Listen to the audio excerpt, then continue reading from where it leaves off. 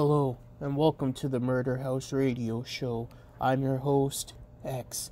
On this show, we will be covering serial killers, killers, mass shooters, disappearances, true crime, and the most deplorable things in people in history, and all that good dark stuff.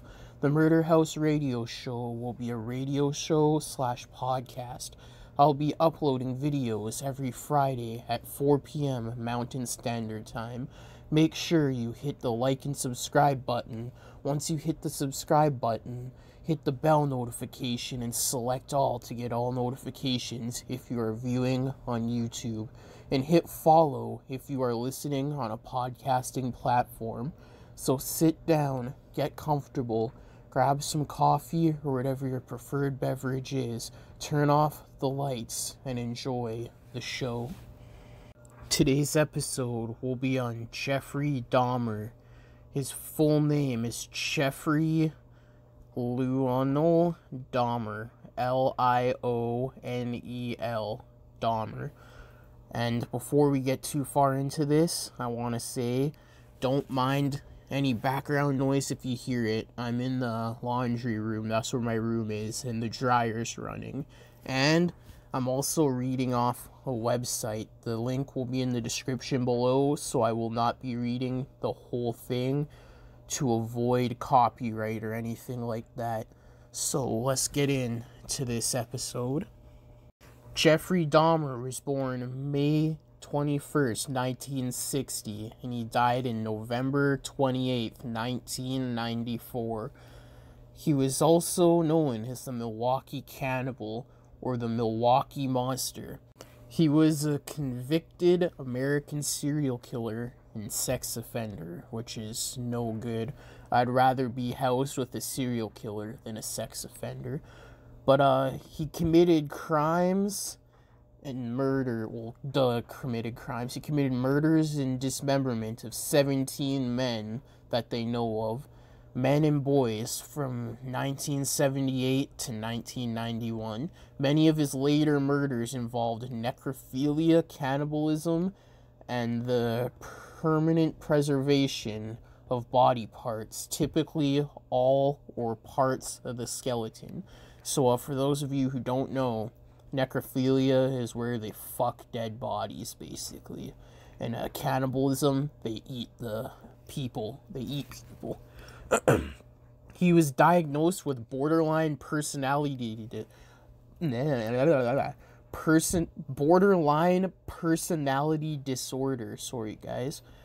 Uh, yeah, the, I'm stumbling over my words because uh, I did a video for my first channel and it was like 30 minutes worth of reading or whatever, so you know.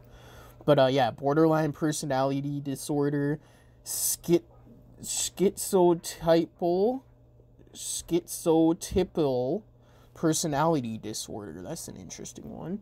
So SP STPD, also known as schizotypal disorder, is a personality disorder characterized by thought disorder, paranoia, and characteristics from the social anxiety, demoralization, transient psychosis, and an unconventional beliefs.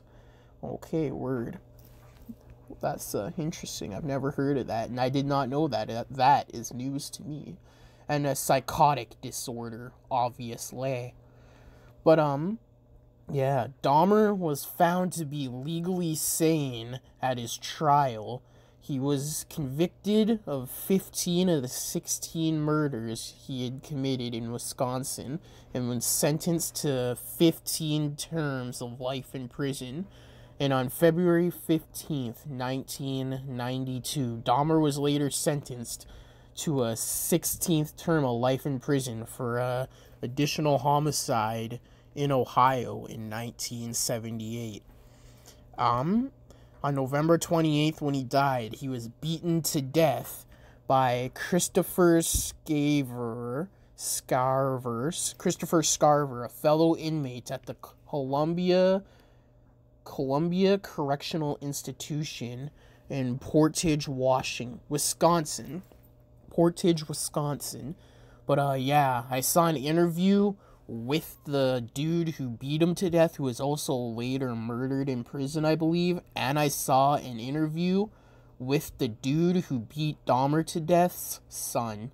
If that made any sense, I hope it did for y'all. Sorry if that was a little confusing, but uh, yeah, it's uh, definitely interesting. But that's a recap on who Jeffrey Dahmer is. So uh, let's dive into his early life and childhood and that type of stuff. So I said earlier when he was born and where. So he was the first of two sons of Joyce Annette and a teletype machine instructor. What? Oh, so his mother was a teletype instructor, so which is a electronic channel device that can be used to send and receive type messages. So like the very early stages of email, basically, kinda, I think. and Lonnie Herbert Dahmer, uh, married a Marquette University chemist student. Word. Lonnie Dahmer was of German and Welsh ancestry, and Joyce Dahmer was of Norwegian and Irish ancestry. Interesting. It has been claimed that Dahmer was deprived of attention as an infant. Oof. Other sources, however, suggest that Dahmer was generally doted upon as an infant and toddler by both parents, although his mother was known to be a tense, gre- greedy uh, for both attention and pity. Okay. An argument and argumentative with her husband and their neighbors, okay? So, sounds like the mom was a bit of an attention whore. And it sounds like also that they might have been uh, kind of neglectful. I think that might be the right word. But, um, yes. When Dahmer was entering his first grade year, Joyce began to spend an increasing amount of time in bed recovering from weakness. What? weakness. Interesting. So maybe like an illness or something, not something like that. Lonnie's university studies kept him away from home much of the time, so both of the parents seem to be uh, inactive in his life, like a majority. When he was home with his wife, a hi- hypochondriac H Y P O C H O N D R I A C, who suffered from depression, demanded constant attention. She reportedly worked herself into a state of anxiety over trivial matters simply to earn appeasement from her husband. Oh, so she's definitely an attention whore. No offense. On one occasion, she is known to have attempted suicide with Equinol. Equanil. Equanil. Um, meprobamine. Market as Miltown by Wallace Laboratories. Laboratories. Wallace Laboratories and Equinol by. Okay. Is a. Ah! is a carbonate derivative used as an anxiolytic drug. It is it was the best-selling minor tranquilizer for the time, but has largely been replaced by the benzodiazepines due to their wider range of abilities, I guess, word. So it was technically like a Xanax, maybe, kind of deal. Uh, consequently, neither parent devoted much time to their son, who later recollected that from an early age he felt unsure of the solidarity of the family. Oof, that's sad. Recalling extreme tension and numerous arguments between his parents during his early years, so his earliest memories is uh, arguments and trauma. That's pretty sad. So he was regarded as being an energetic and happy child, but after a sudden, like double hernia surgery shortly before his first uh, fourth birthday, he became, um, like withdrawn, I guess, in a shell of his former self, I guess you could say. At elementary school, Dahmer was regarded as quiet and timid. One teacher later recalled she detected early signs of abandonment in Dahmer due to his mother's illness, the symptoms of which increased when she became pregnant with her second child. So the poor guy just needed attention, and he probably could have avoided a lot of stuff, it sounds like. Nonetheless, in grade school, Dahmer did have a small number of friends, which is good, that's good. From an early age, Dahmer manifested an interest in dead animals. Oof. He initially collected large insects such as dragonflies and butterflies in jars. Kind of normal right there, just not the dead animal part. Later, he collected animal carcasses, occasionally accompanied by one or more friends. He dismembered these animals either at home or in nearby woodland. According to one friend, Dahmer dismembered dismembered these animals and stored the plastic the parts in jars in the family tool shed. Oof. Imagine walking into the tool shed and there's just a bunch of dead animals in jars explaining that he was curious to see how the animals fitted together. Ooh. His uh, fascination with dead animals may have been made and be ah, may have begun when at an age of four he saw his father removing animal bones from beneath the family home. Huh, interesting. According to Lonnie, Dahmer was oddly thrilled by the sound of bones. May this by the he was fascinated fascinated by the sound bones made and became preoccupied with animal bones.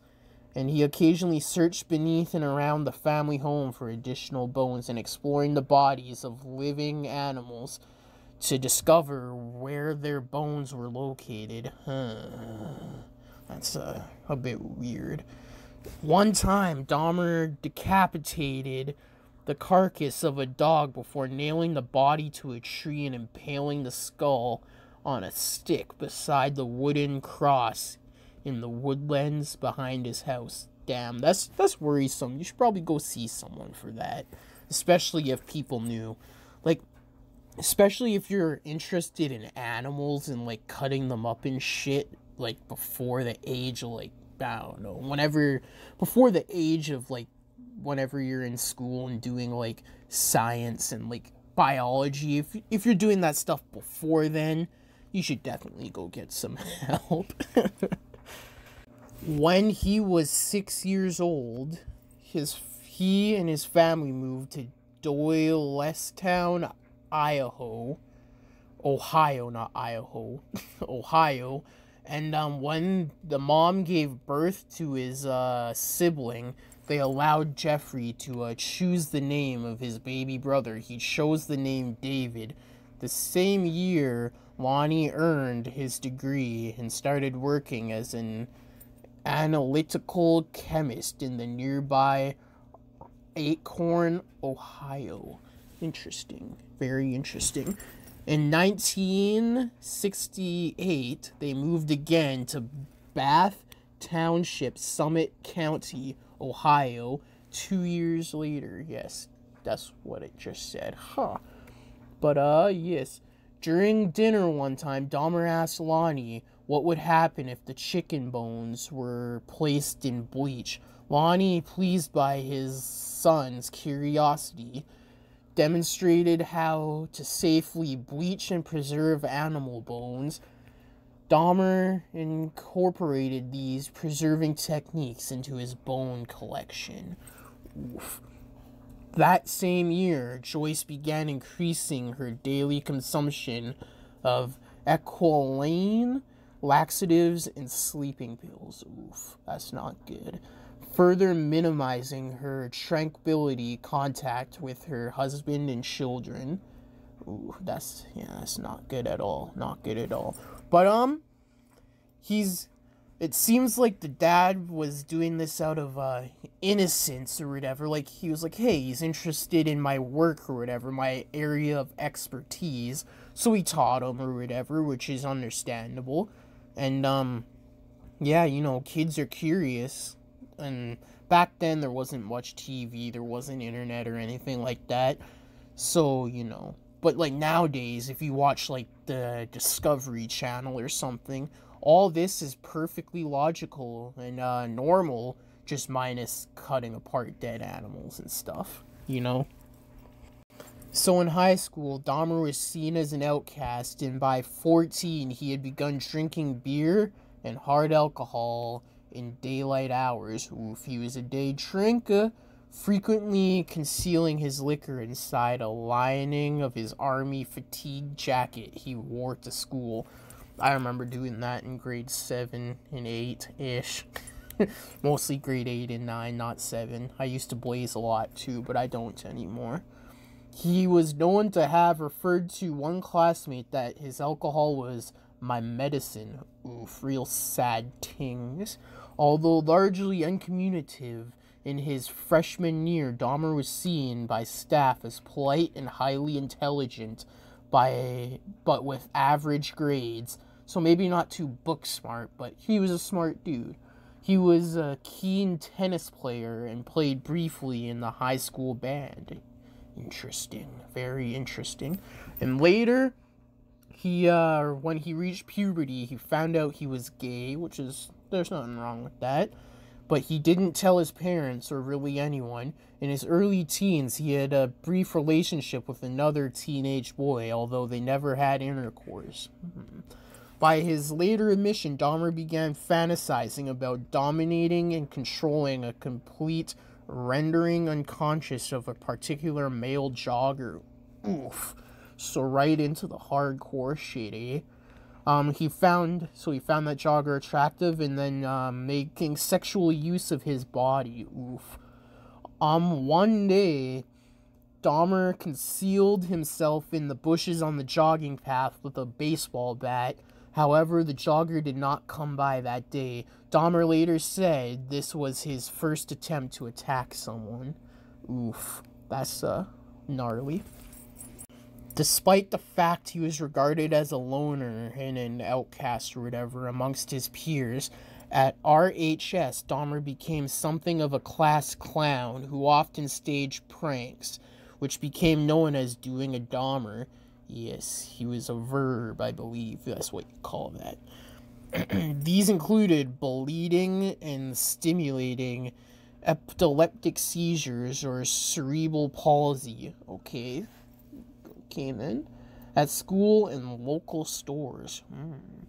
In 1977, well, by then, Dahmer's grades had declined. His parents hired a private tutor with limited success in the same year, in an attempt to save their marriage, his parents attended counseling sessions. Okay? They, they continued to quarrel frequently. Okay? To, so they attended these things, the counseling, pretty frequently ish. When Lonnie discovered Joyce had engaged in a brief affair in September 1977, they both decided to divorce makes sense, telling their son they wished to do so amicably. Hope I said that right. Lonnie moved out of the house in 1978.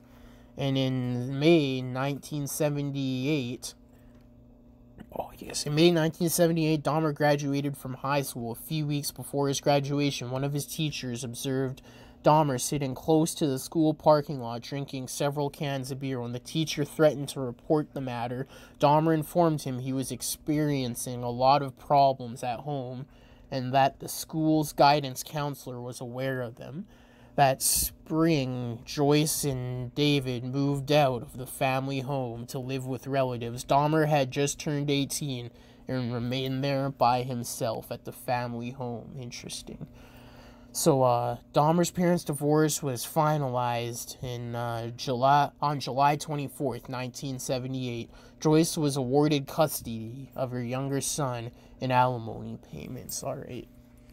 Word. I um also heard this story. It was like a on a scary story video on YouTube where this um girl went to a prom date or whatever with Jeffrey Dahmer or whatever. And it sounds like she made it sound like he was gonna try and cause her harm because he was being awkward and quiet or whatever the whole time and he tried to get her to go back to his apartment or to his place or whatever, but she didn't. And then a few weeks later or whatever, he killed his uh, first person or whatever. It was uh, pretty wild.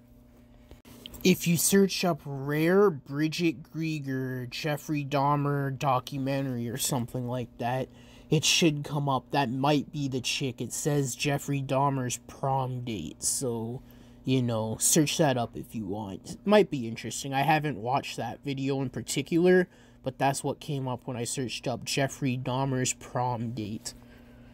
When Dahmer committed his first murder in 1978, he was 18. He did this three weeks after his graduation. Holy, starting off your adulthood with a murder. Fucking mint. Just kidding. At the time, he was living alone in the family home yeah.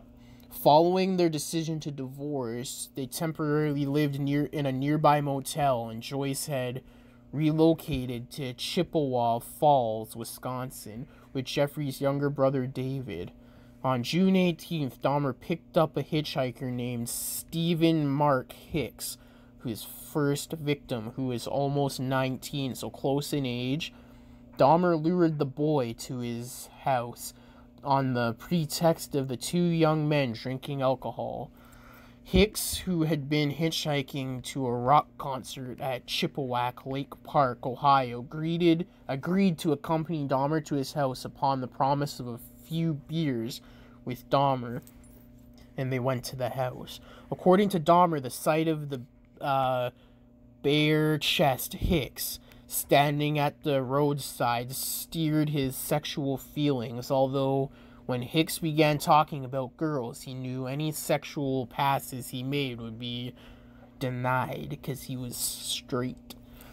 After several hours of talking, drinking, and listening to music, Hicks wanted to leave, and Dahmer didn't want him to. In response, Dahmer bludgeoned Hicks with a 10 pound dumbbell. What a way. Oh yeah, I used to have those kind of dumbbells too. They were the kind where you uh, put the weights on and screw the thing on so you can uh, alter the weights. He later stated he struck Hicks twice from behind, then the dump then with the dumbbell as Hicks sat upon a chair. So he hit him when he's sitting in a chair. When Hicks fell unconscious, Dahmer strangled him to death with the bar of the dumbbell. Oof. Then stripped the clothes off Hicks' body, before exploring his chest with his he's feeling him, feeling him up, and he uh, masturbated as he stood over the body. Oof. The following day, Dahmer dissected Hicks's body in the basement. He later buried the remains in a shallow grave in his backyard before several weeks later unearthing the remains and uh, paring the flesh from the bones. He dissolved the flesh in acid before flushing the solution down the toilet. He crushed the bones with a sledgehammer and scattered them in the woods behind his house. So that's his first murder. That's a pretty gnarly first murder, but it only gets worse. It would be a while till his next murder, and that's uh somewhat common. Serial killers will go on like a little spree. They'll sometimes take a break to let the heat die down or go somewhere else or whatever. Sometimes they'll try to stop altogether because um, I'm pretty sure Ed Kemper also tried to stop or whatever. Well, he did. He uh, turned himself in. But um, Dahmer went to college and then the army. I'm pretty sure he is in the Navy. But six weeks after the murder, Dahmer's father and his fiance returned to his house to Dahmer's house, a family home, where they discovered Jeffrey living alone at the house. That August, Dahmer enrolled at Ohio State University. Excuse me. Hoping to enroll in business. Dahmer's sole term at the university was completely unproductive, largely because of his persistent alcohol abuse throughout the majority of the term.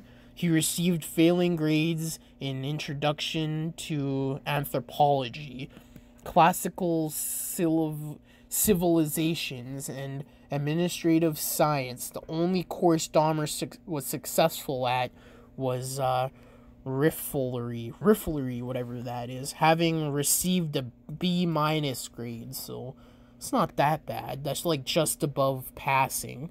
So maybe like just above 65%. I'm not too sure. His overall GPA was 0.45 slash 0.4.0. Um, on one occasion, Lonnie paid a, survi- a surprise visit to his son, only to find his room strewn with empty liquor bottles. Despite his father having paid in advance for the second term, Dahmer dropped out just after three months in school. Oof.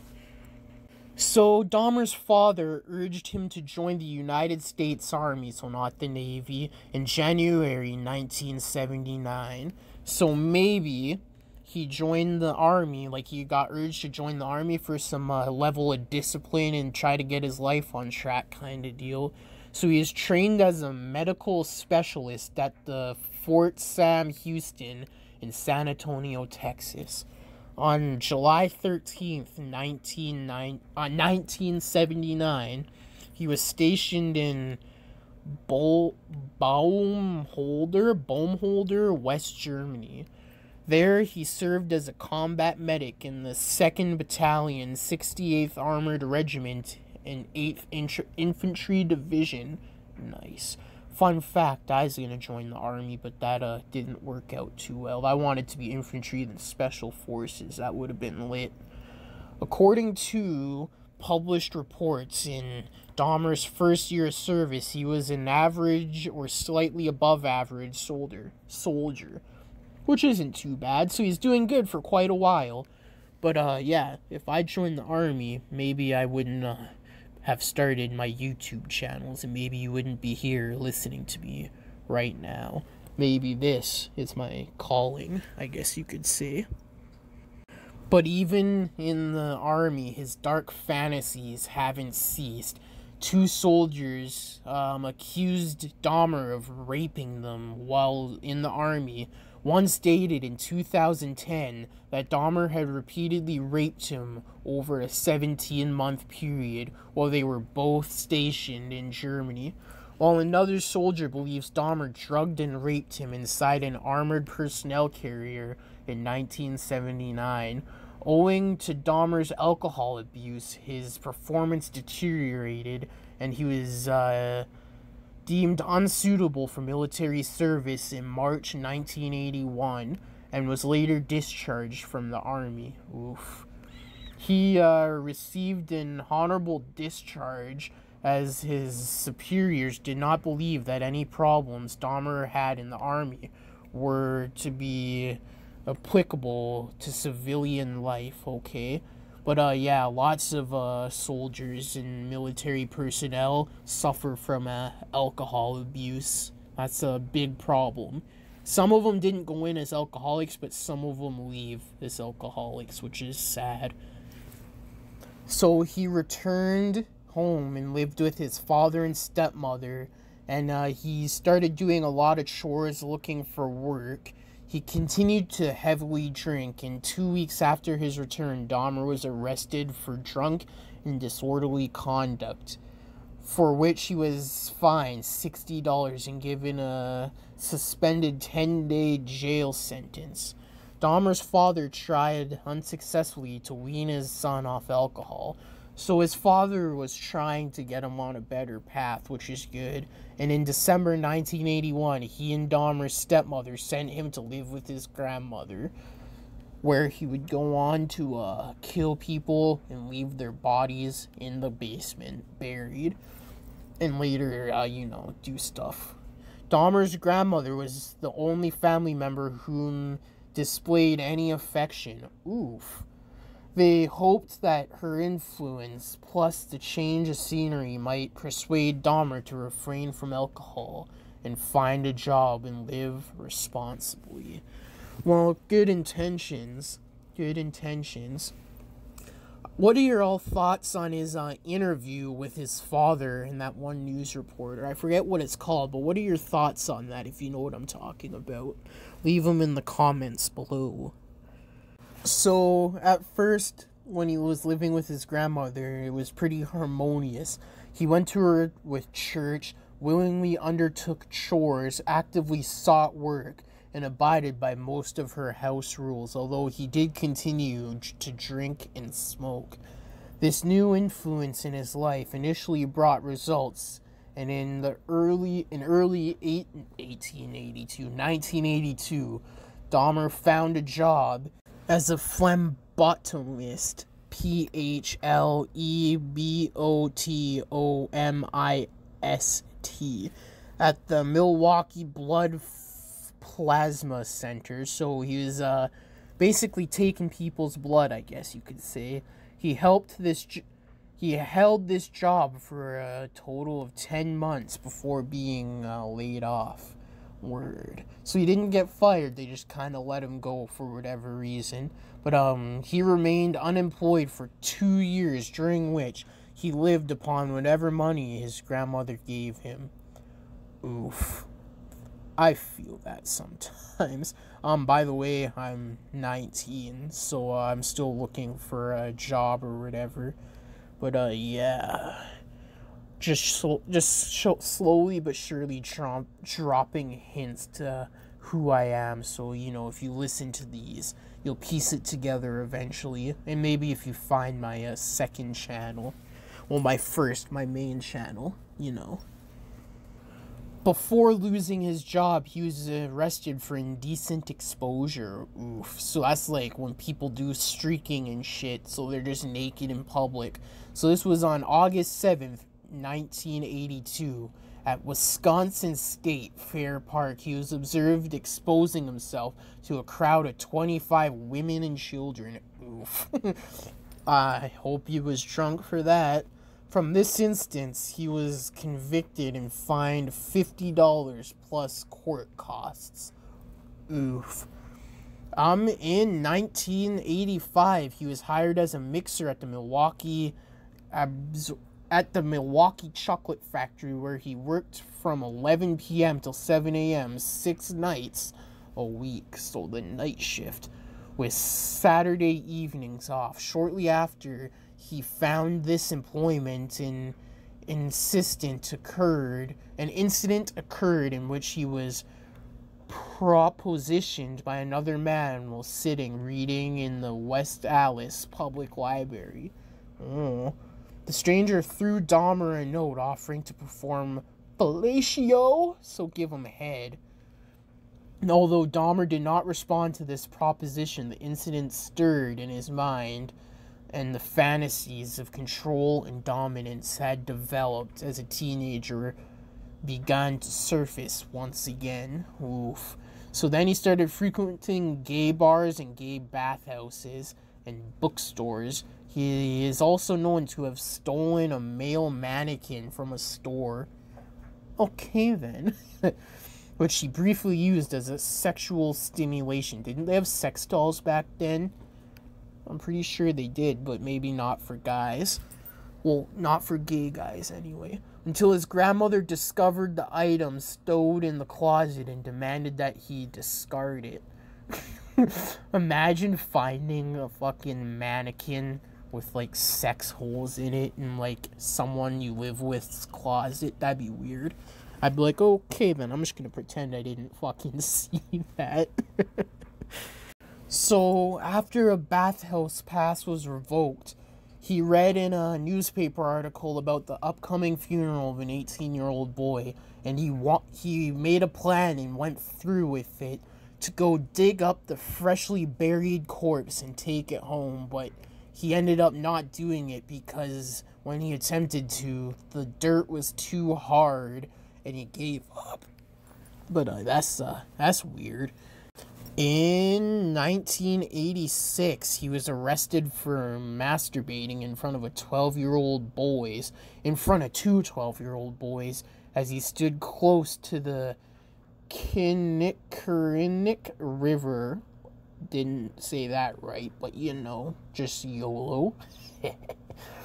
He initially admitted to the offense and was again charged with indecent exposure, but quickly changed his story and claimed he had merely been urinating, unaware that there were witnesses. Oof.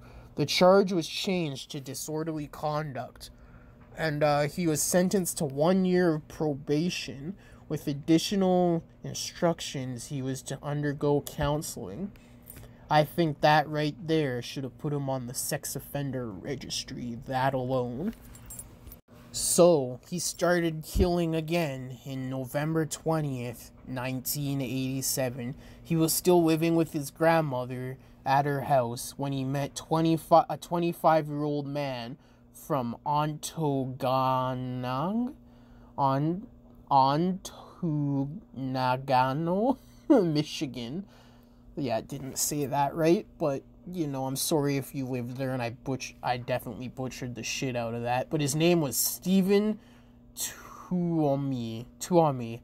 He met him at a bar and pressured him into returning to his hotel room where he uh that he had rented for the evening. And according to Dahmer later on in an interview or whatever, he did not intend on murdering Tuomi, but rather drugging him and raping him while he was unconscious. The following morning, however, Dahmer awoke to find Tuomi laying beneath him on the bed, so I think Dahmer was probably on top of him, passed out. His chest crushed in and black and blue with bruises. Blood was also seeping from the corners of his mouth, and Dahmer's fists and one of his forearms were extensively bruised. And Dahmer stated he had no memory of killing Tuomi, and later informed investigators that he could not believe that this has happened. So it sounds like he didn't want to start killing at first. But, uh, yeah. And, uh, fuck, what was I gonna fucking say? Hold on. Oh yeah, so um he basically crushed his chest to death or whatever and probably fucked his heart somehow. Not literally, maybe, I don't know. But uh yeah. And then uh to dispose of the body, he purchased a large suitcase in which he transported the body back to his grandmother's house.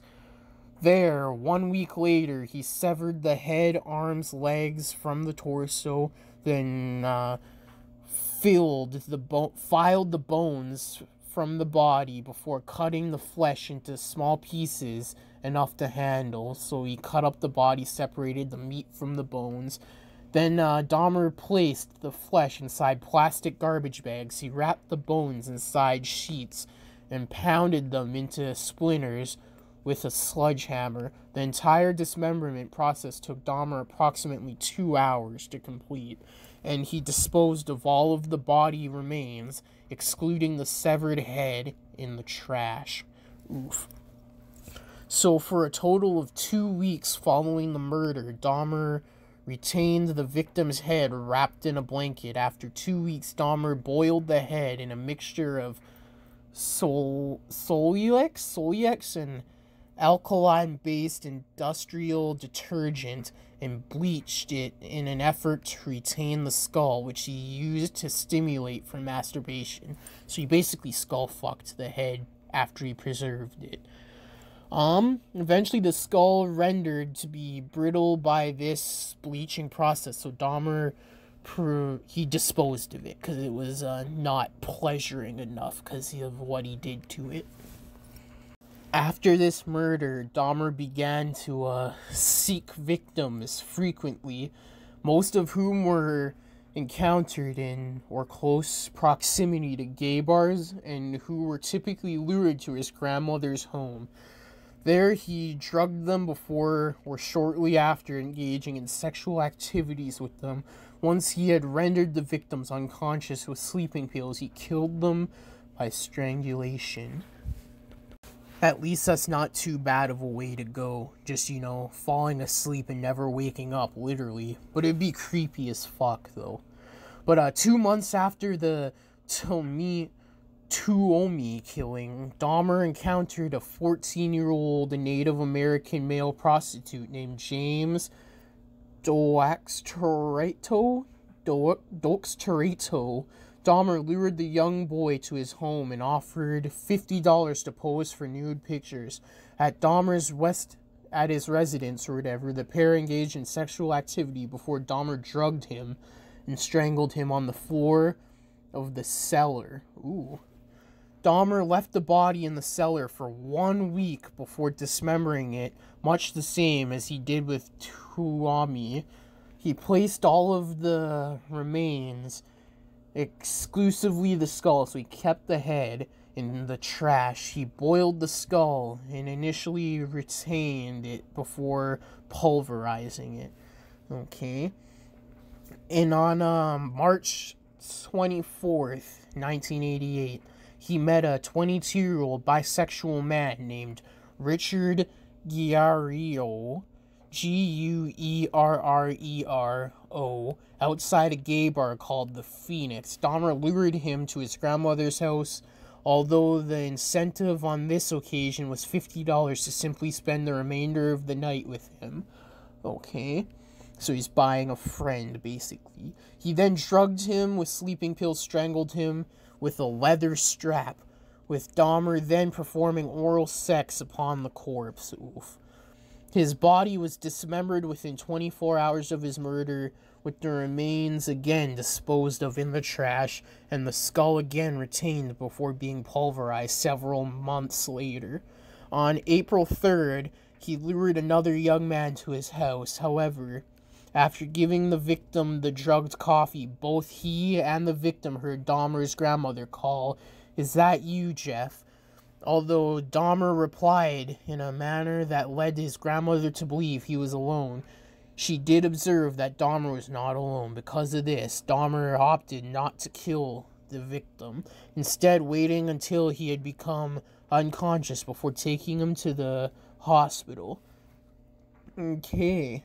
That's lucky as fuck. That is lucky. It doesn't say this victim's name, but he's one of the surviving victims. Very lucky.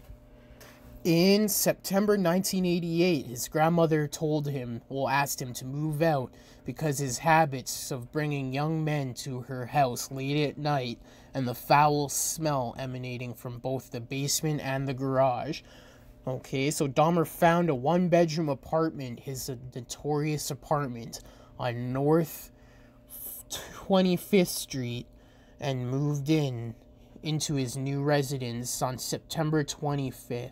So his notorious apartment, I think it was what, room 113 or room 13.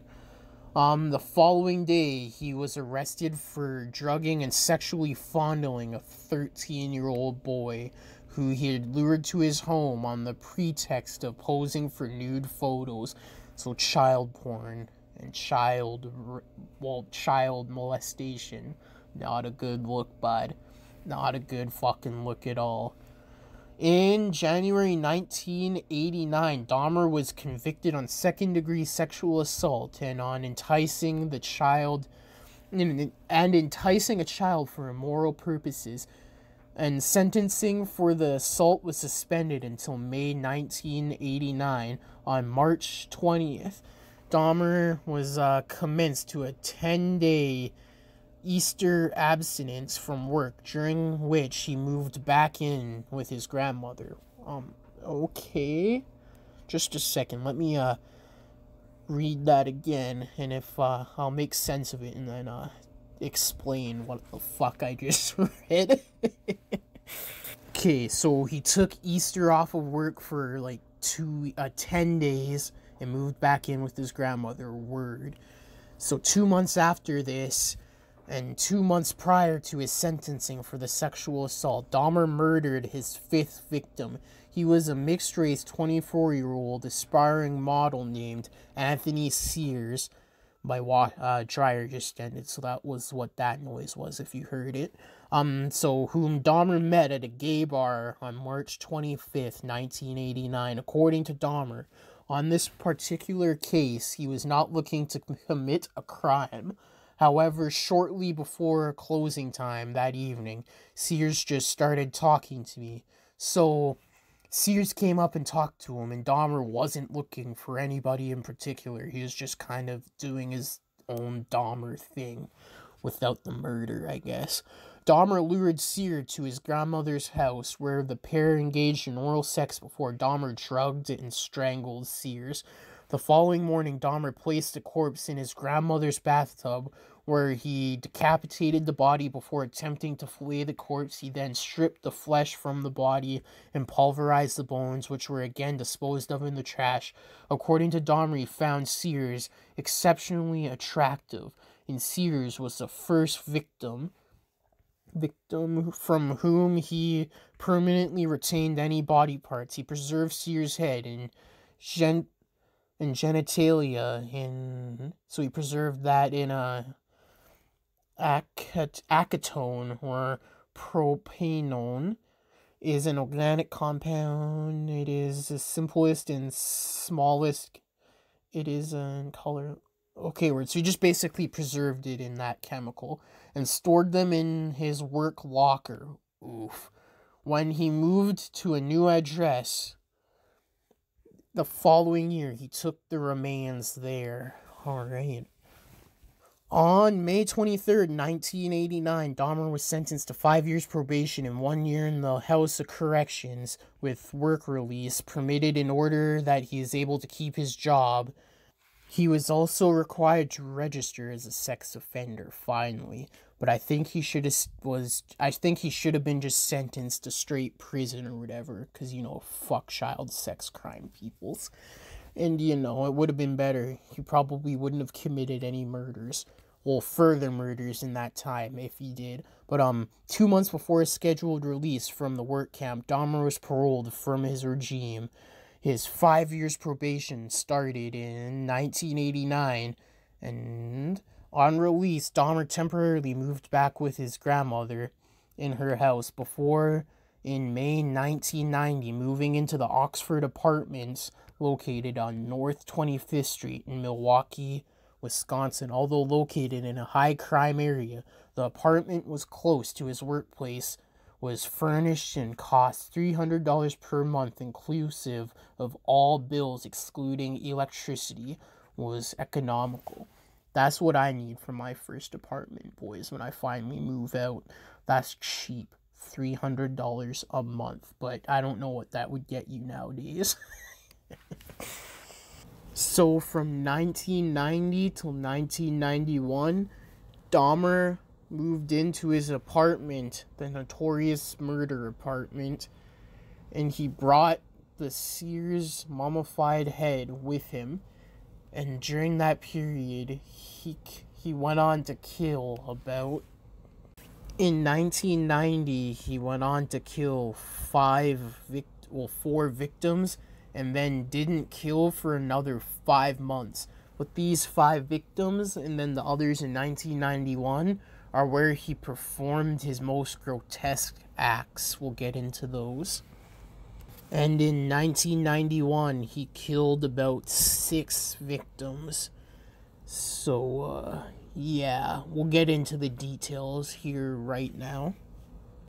Within one week of moving into his new apartment, he killed his sixth victim, Raymond Smith. He was a 32 year old male prostitute who Dahmer lured to his apartment 231. There it was. I knew it was thir- well 231, 213, my bad, guys. I knew it was 13 something with the proposition of $50 for sex. Inside the apartment, he gave Smith a drink laced with seven sleeping pills and manually strangled him. The following day, Dahmer purchased a Polaroid camera and he took several pictures of Smith's body in suggestive positions before dismembering him in the bathroom.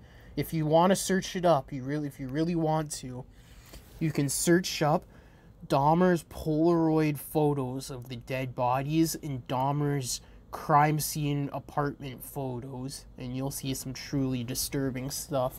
I don't recommend it, but if you want to, you can. He boiled the legs, arms, and pelvis in a, a steel kettle with Soloxy, Solix, which allowed him to then rinse the bones in the sink. Dahmer dissolved the remain, the remainder of Smith's skeleton excluding the skull in a container filled with acid. He later spray painted Smith's skull, which he placed alongside the skull of Sears upon a black towel inside a metal cabinet. Approximately one week after the murder of Smith, on about May 27th, Dahmer lured another young man to his apartment. On this occasion, however, Dahmer himself accidentally consumed the drink laden with the sedatives intended for the victim. He wo- awoke the following day. He discovered his intended victim had stolen several items from his clothing $300 a watch and a watch, so he got played. Dahmer never reported the incident to police, obviously. Although on May 29th, he divulged to his probation officer that he had been robbed. In June 1990, Dahmer lured a 27 year old acquaintance named Edward Smith to his apartment. Apartment. He drugged and strangled him on his on this uh, occasion rather than immediately acidifying the skeleton or repeating previous procedures of bleaching, which had rendered previous victims' skulls brittle. Dahmer placed Smith's skeleton in his freezer for several months in the hopes it would not retain moisture. Freezing the skeleton did not remove moisture. The skeleton of the victim would be acidified several months later. Dahmer accidentally destroyed the skull when he placed it in the oven to dry and process, proceeded a process that caused the skull to explode. Oof. Damn. Imagine that. That probably scared the fuck out of him. Dahmer himself was too late to later inform police that he had felt rotten about Smith's murder, as he had been unable to retain any parts of his body. Less than three months after the Smith murder, Dahmer encountered another boy, 22 years old, a Chicago, a Chicago native named Ernest Miller, on the corner of North 27th Street. Miller agreed to accompany Dahmer back to his apartment for $50 and further agreed to allow him to listen to his heartbeat and stomach. That's weird. When Dahmer attempted to perform oral sex upon Miller, he was informed that'll cost you extra, whereupon Dahmer gave him the intended victim the drink laced with two sleeping pills. On this occasion, Dahmer had two sleeping pills to give to his victim, therefore, he killed Miller by slashing his carotid artery. So this one was a little messy, the killing, I guess you could say. With the same knife he used to dissect his victims' bodies, Miller bled to death within minutes. Dahmer then posed the nude body for various suggestive Polaroid photos before placing the body in the bathtub for dismemberment. Dahmer repeatedly kissed and talked to the severed head while he dismembered the remains of the body. Oof. Ima- like, imagine that being in a bathtub, taking a shower, or even a bath, and there's been a body dismembered in there. Like his poor grandmother, but like, imagine that. Eh, that's why I don't like showering in people's places. you never know, man. You never know.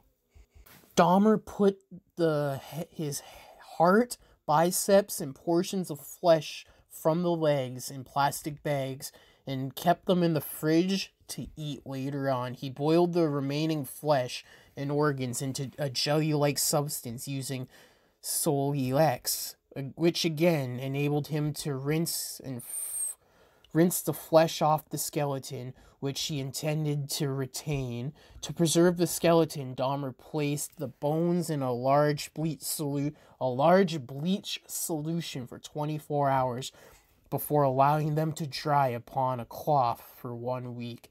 The severed head was initially placed in the refrigerator before also being stripped of flesh, then painted and coated with enamel. Oof.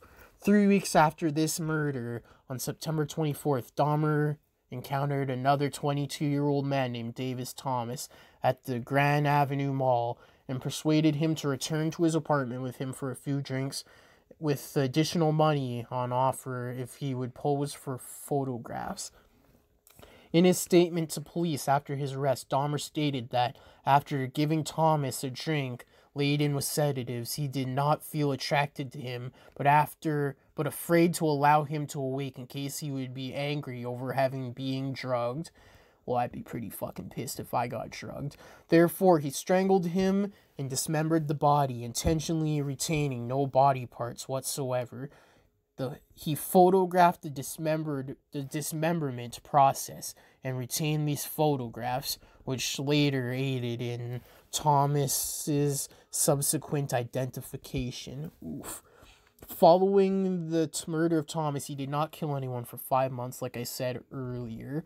Although on a minimum of five occasions between October 1990 and February 1991, he unsuccessfully attempted to lure men into his apartment he is also known to have regularly complained of feeling of both anxiety and depression to his probation officer throughout 1990, with frequent references to his sexuality, his solitary lifestyle, and financial difficulties.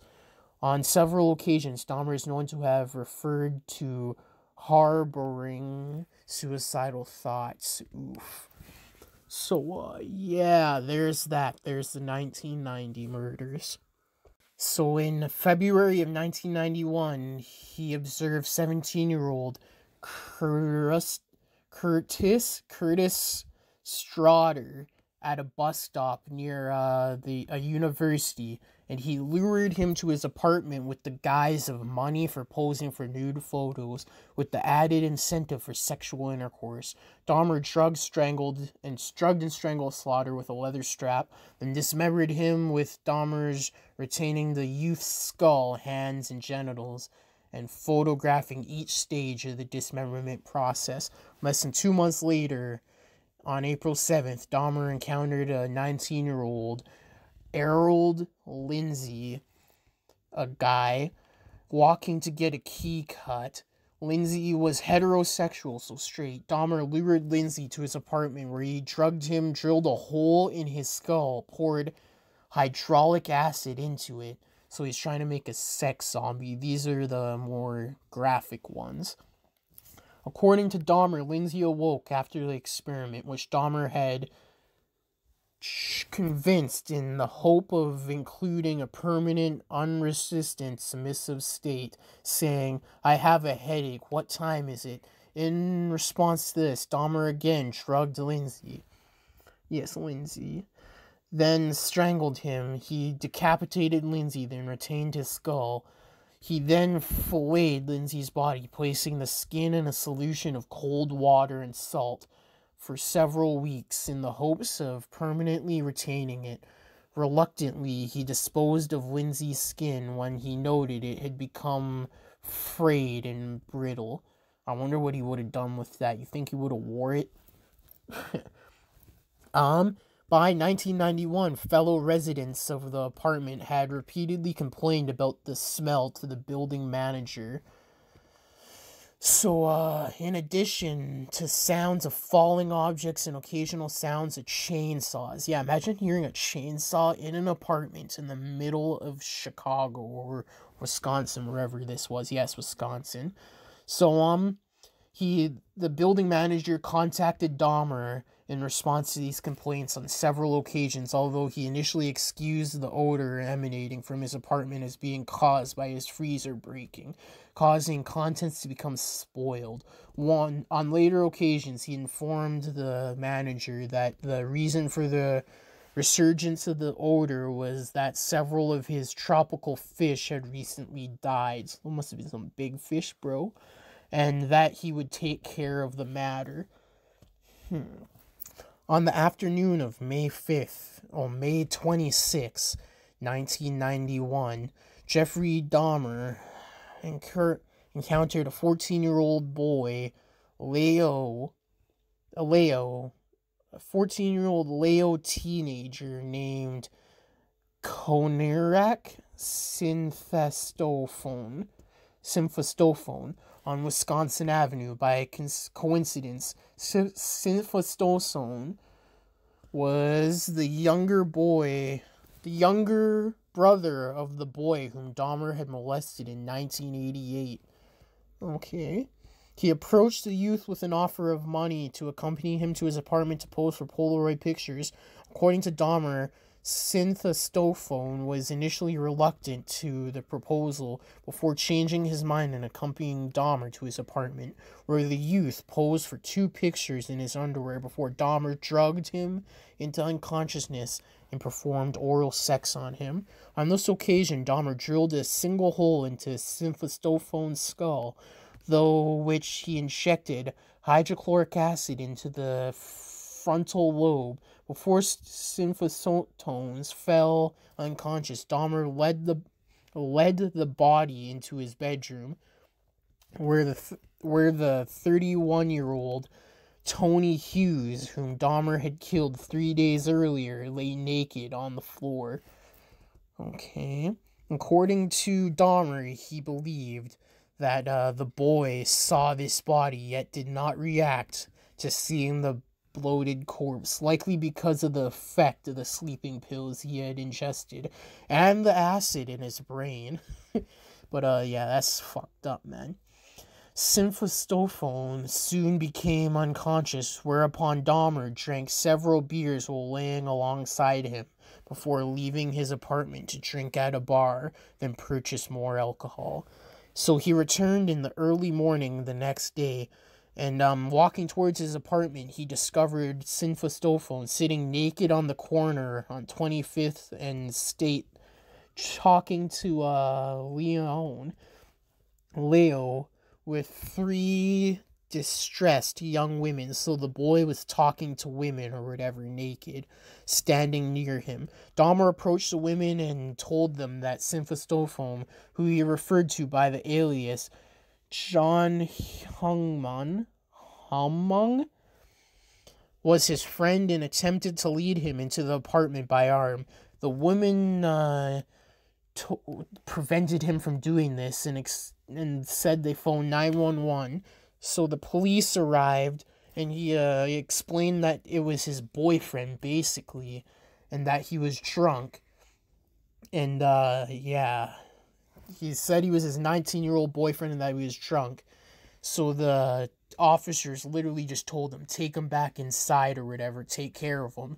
And the ladies were like, I don't think that's a good idea because the kid obviously didn't look drunk or whatever.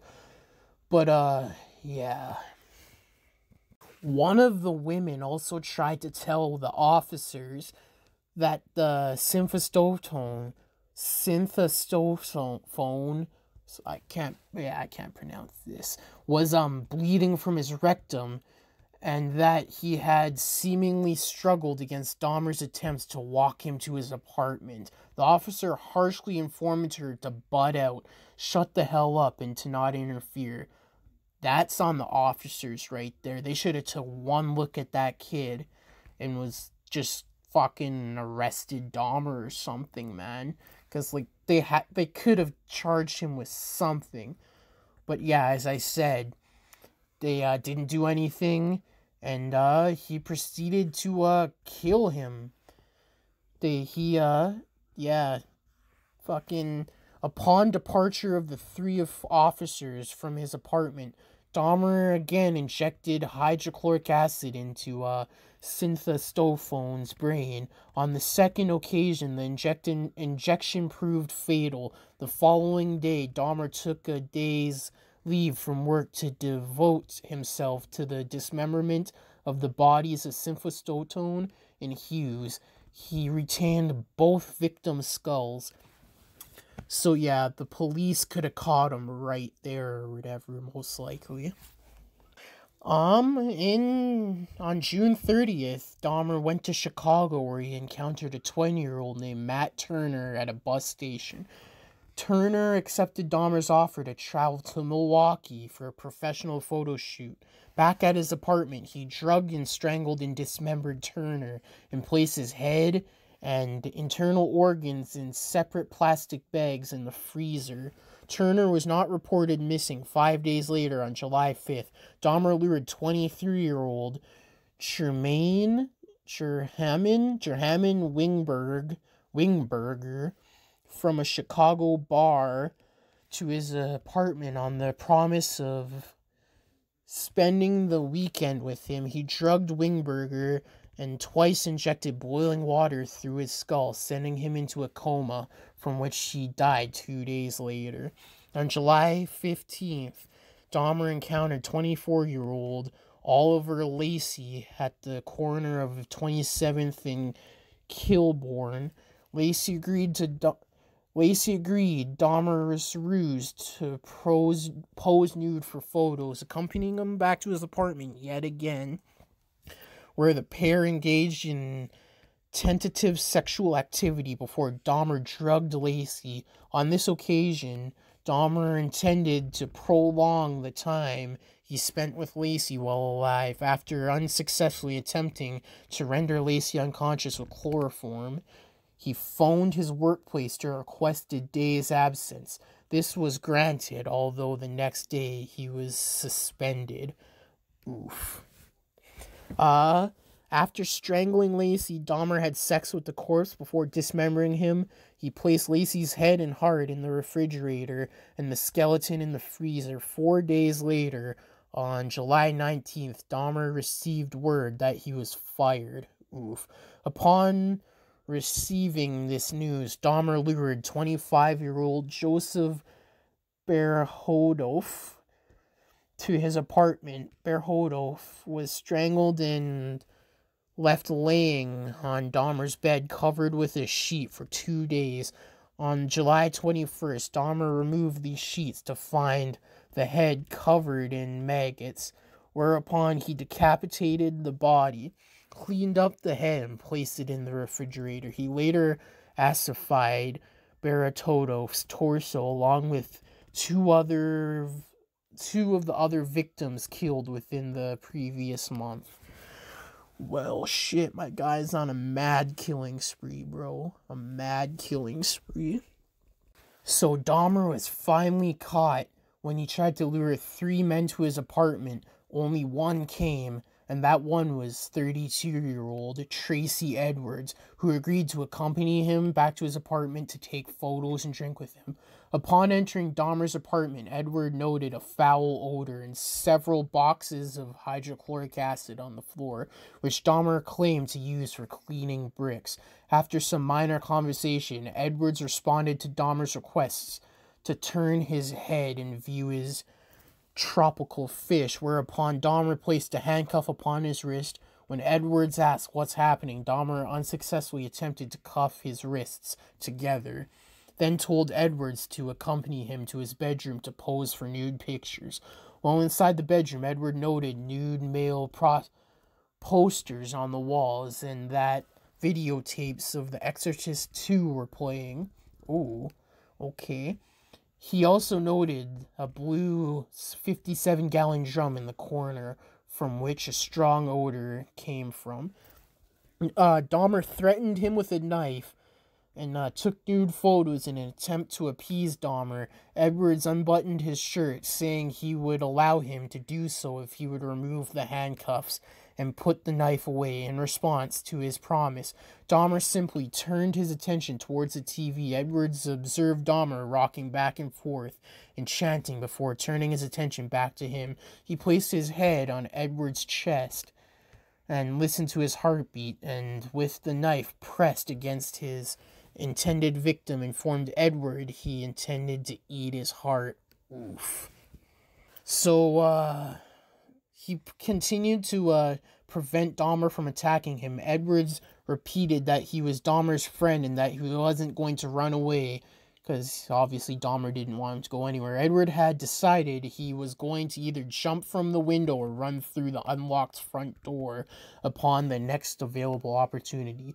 When Edwards next stated he needed to use the bathroom, he was asked if he could sit with a beer in the living room where there was air conditioning. Dahmer consented, and the pair walked to the living room. When Edwards exited the bathroom inside the living room, Edwards waited until he observed Dahmer having a momentary lapse of concentration before requesting to use the bathroom again. When Edwards rose from the couch, he noted Dahmer was not holding the handcuffs. whereupon Edwards punched him in the face, knocking Dahmer off balance and ran out the front door. And then um he flagged down two cops at 11:30 p.m. on July 22nd, and the officers uh, were told about the whole situation, and Edwards led them to the apartment where uh, uh, Dahmer answered the door.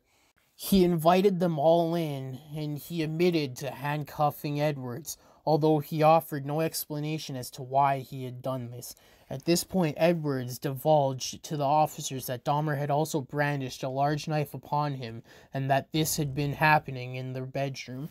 Dahmer made no comment to this uh, accusation, indicating to no to one of them officers that the key to the handcuff was in the bedside dresser. As Mahler entered the bedroom, Dahmer attempted to pass Mahler to himself to retrieve the key himself whereupon the second officer pressed um he told him to back off basically. So in the bedroom Mahler noted that's one of the cops Mahler he noted there were indeed a large knife beneath the bed. He also saw an open drawer which upon closer inspection contained sources of polaroid pictures many of which were of human bodies in various stages of dismemberment Mahler noted the decor indicated that they have been taken in, in the very apartment in which they were standing. Mahler walked into the living room to show them the to show the pictures to his apartment, uttering the words, "These are for real."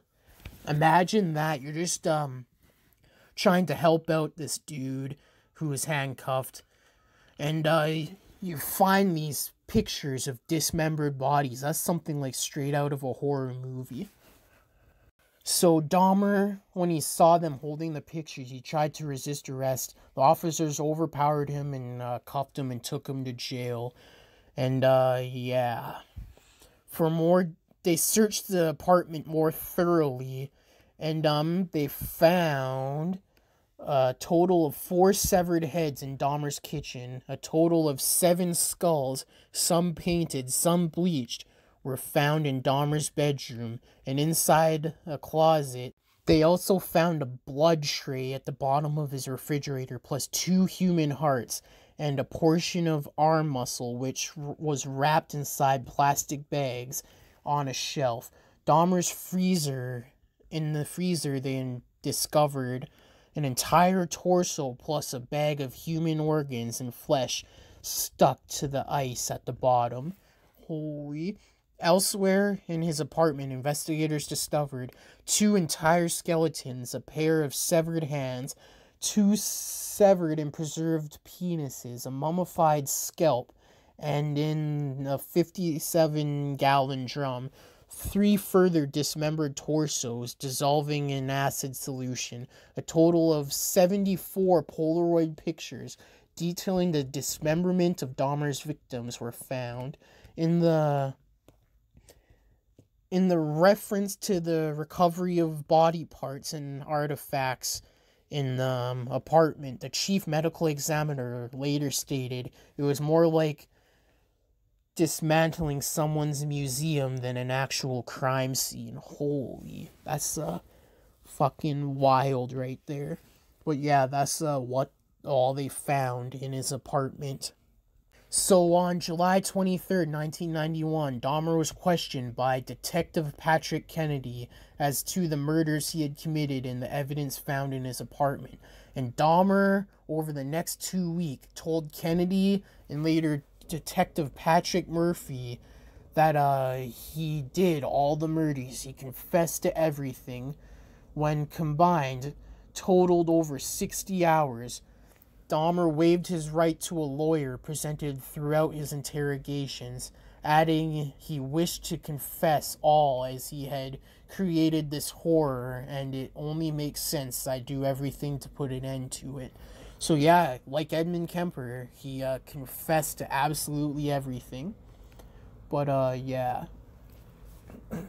Dahmer admitted to engaging in necrophilia, necrophilia with several of his victims' bodies including performing sexual acts with their eviscerated with their eviscerated and dismembered bodies.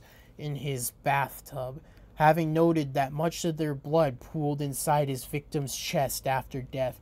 Dahmer first removed their internal organs, then suspended their torso so the blood drained into the bathtub before dicing any organs he did not wish to retain and preparing the flesh from the body. The bones he wished to dispose of were pulverized or acidified with Soilex and bleach solution used to aid in the preservation of the skeleton and the skulls he wished to keep. In addition, Dahmer confessed to having consumed the hearts, liver, and biceps and portions of thighs of several victims killed within the previous year. But, uh, yeah. He, uh, uh, fucking, um, admitted to everything, so, you know. So, as I said in the beginning, he was uh, sentenced to 16 life sentences. And um, upon hearing of Dahmer's sentencing, his father, Lowen, and his stepmother, Sherry, requested to be allowed a 10 minute private meeting with their son before he was transferred to prison to begin his sentence. The request was granted, and the trio exchanged hugs and well wishes before Dahmer was escorted away. Three months after his conviction, Milwaukee Dahmer was extradited to Ohio to begin to being tried for the murder of his first victim, and they got the life sentence for that, his 16th life sentence. And this was on May 1st, 1992.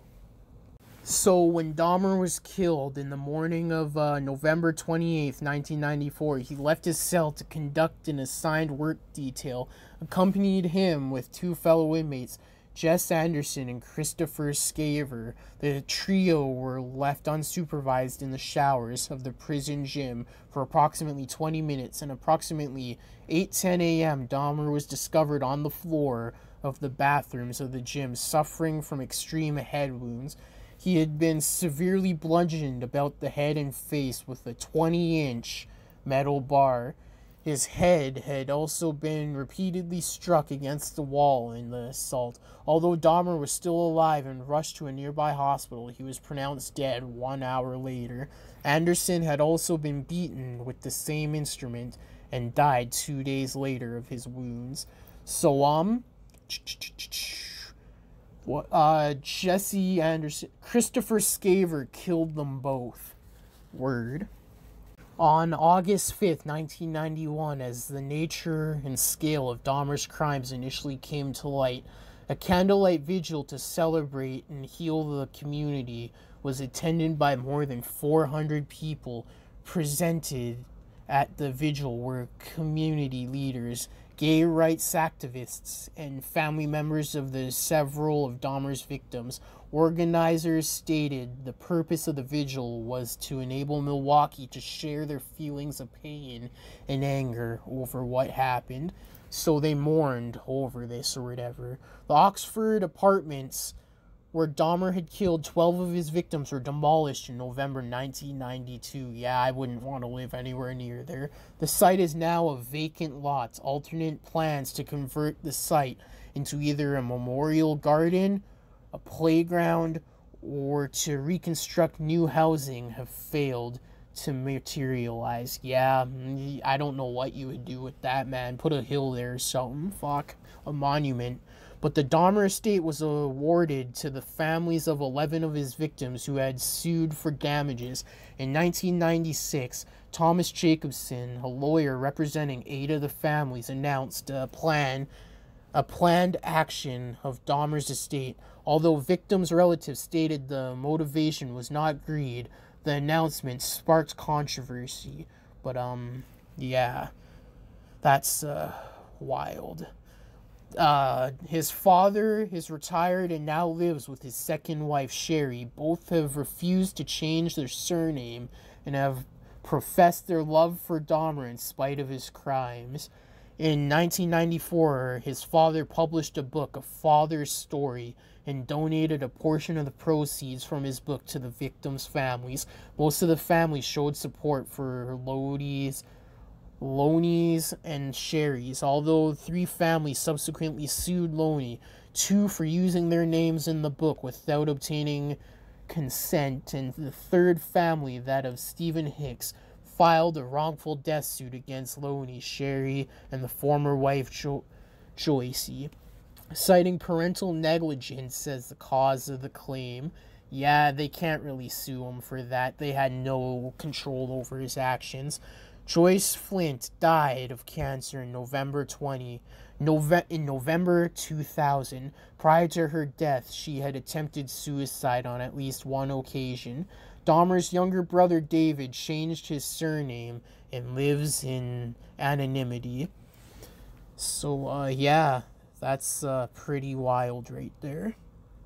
But uh, yeah, if you want to see uh, documentaries on him and movies, you can just search up Jeffrey Dahmer on YouTube or Netflix, and I'm sure they'll come up.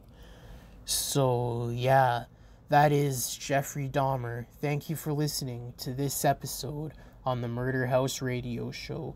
Check out the social medias and the sources in the description below. Make sure you hit the like and subscribe button. Once you hit the subscribe button, hit the bell notification and select all to get all notifications if you are watching on YouTube. If you're watching on a podcasting platform, hit follow. See you next episode. This is your host X signing off.